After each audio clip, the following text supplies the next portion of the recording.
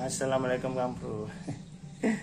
Lagi gabut nih beberapa la, beberapa waktu yang lalu itu banyak yang menanyakan gini Kang Bro.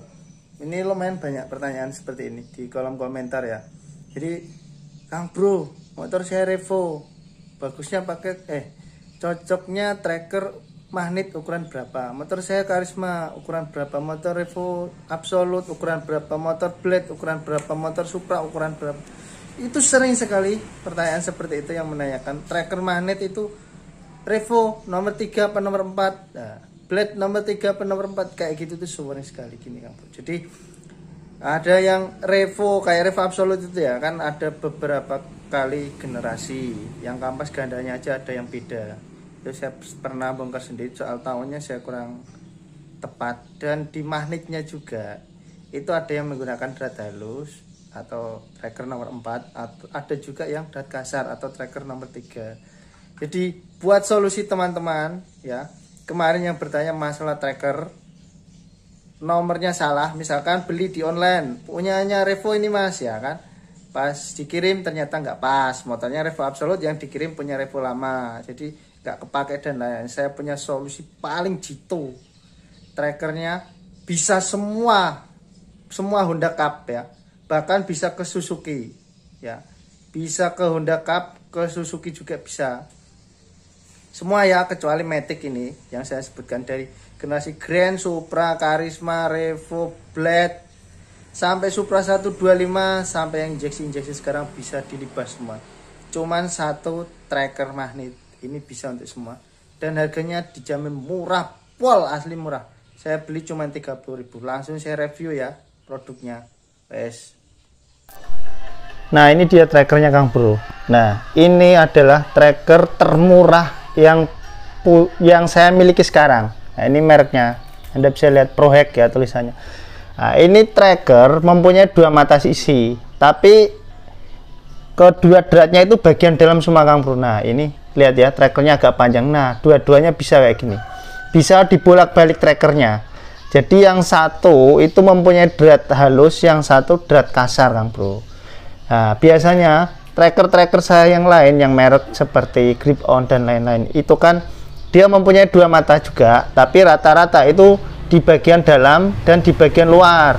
Kalau yang di drat luar biasanya saya gunakan untuk matic ya, untuk motor-motor matic atau motor sejenis uh, air dan lain-lain. Nah, ini tracker yang saya sukai dari merek ini Kang Bro. Ini trackernya itu tebel berat tapi harganya yang nggak masuk akal kan bro. Ini memang terus terang. Nanti saya kasih linknya lah. Karena ini menurut saya sangat penting buat teman-teman. Saya nggak ada endorse dari tracker ini cuman karena saking banyaknya pertanyaan yang menanyakan tracker tracker tracker ya ini saya jawab nih trackernya. Mereknya ProHack ya. ProHack nah saya juga punya beberapa merek yang lain maksudnya merek ProHack ya alat untuk bengkel. Itu mereknya bagus ya. Ini anda bisa lihat gagangnya tebel besar. Cuman menurut saya ada kelemahan di bagian gagangnya. Ini dia nggak nggak bisa kita gunakan menggunakan kunci ring atau kunci sok dia modelnya pakai besi kayak gini ya. Terus ini kuncinya nggak bisa digeser-geser kan nah besi palangannya ini yang kita putar itu bisa sih kita keluarkan cuman seret. Di dalamnya ada gripnya juga. Jadi nggak mudah lepas. Dia nempel. Jadi untuk palangannya itu wis sopo jengene ya? Itu jarang hilang lah ya.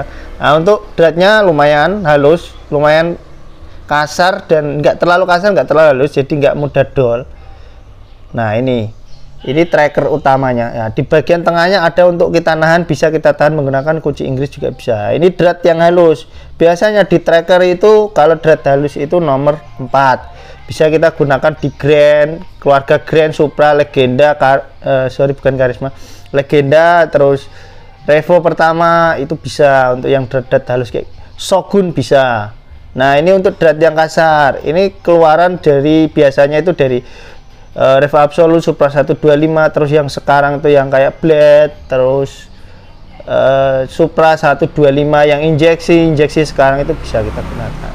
Tapi untuk tracker ini nggak bisa kita gunakan di motor metik karena dia nggak punya drat luar. Nah ini salah satu kekurangannya. Kalau merek grip on kan ada drat luarnya saya biasa merek grip on udah punya banyak kang bro jadi drat luar rata-rata yang sama semua. Jadi yang di magnet itu pakai drat dalam itu ya kayak air king itu punya serep-serep banyak karena tracker saya grip on grip on kan banyak.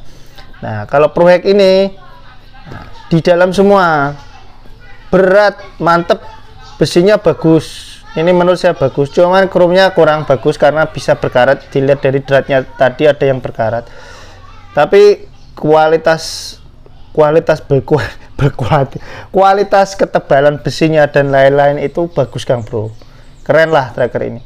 Dan yang menurut saya nggak masuk akal lagi harganya itu Kang Bro. Kalau kita beli merek-merek lain kan paling nggak di 50 ribuan ke atas. Apalagi kayak Tekiro apa itu kan sampai 90 sampai di atas 100 nah ini 30 ribuan tapi bahannya itu bagus gitu loh Kang Bro saya beli beberapa waktu yang lalu yang nggak ada merek itu.